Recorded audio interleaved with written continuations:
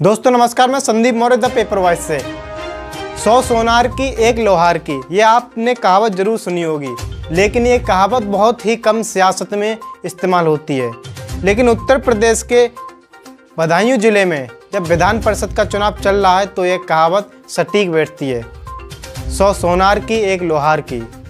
BJP से प्रत्याशी बागिस पाठक MLC के, और वहीं सपा से प्रत्याशी पूर्व विधायक दातागंज से सुनोद साग के जब उन्होंने दोनों ने 22 तारीख को पर्चा दाखिल किया था तो बधाइयों समेत तमाम उन विधानसभा में जो अभी चुनाव हुए थे, वहाँ पर राजनीतिक गलियारों में ये संदेश फैल गया कि दोनों में कांटे की लड़ाइयाँ हैं और देखने में एक दूसरे के जो प्रतिद्वंदी हैं, वो बहुत ज़्यादा मज़बूत हैं। दोनों कुशल नेतृत्व करने वाले नेता हैं, दोनों कुशल धुरंधर हैं तो इसलिए मज़ा भी बहुत आने लगा। लेकिन इस मज़े को सुनील साक्य ने बिल्कुल ख़राब कर दिया। जब आज सुनोद साक ने अपना पर्चा वापस ले लिया तो राजनीतिक गलियारों में हड़कंप मच गया। हड़कंप इस बात का नहीं कि सुनोद साक ने पर्चा वापस ले लिया। हड़कंप इस बात का मच गया कि आखिर वो कारण क्या थे?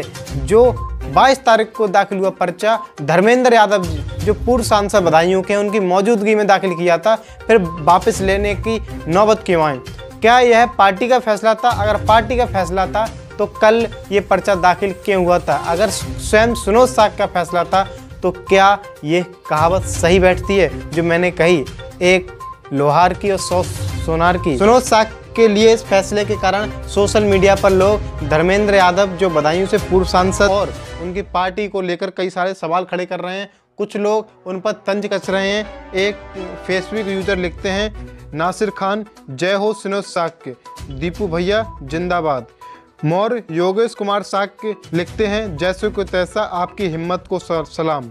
कमेंट के माध्यम से अनीस सिद्दीकी, जो फेसबुक यूज़र हैं, वो कहते हैं, पूर्व सांसद जी की कुशल रणनीति और मज़बूत प्रत्याशी श्री सुनोद साक्य जी ने नामांकन पत्र वापस लिया। यह उन्होंने तंत्र कसा है। और कफील खान कहते हैं, महबूबा नेता जी की बधाइयों से सियासत समाप्ति की ओर अग्रसर हो। दरी डालने के लिए हो जाएँ तैयार। वहीं तनवीर हुसैन तन्नू कहते हैं, छल करोगे तो छल मिलेगा, आज नहीं तो कल मिलेगा।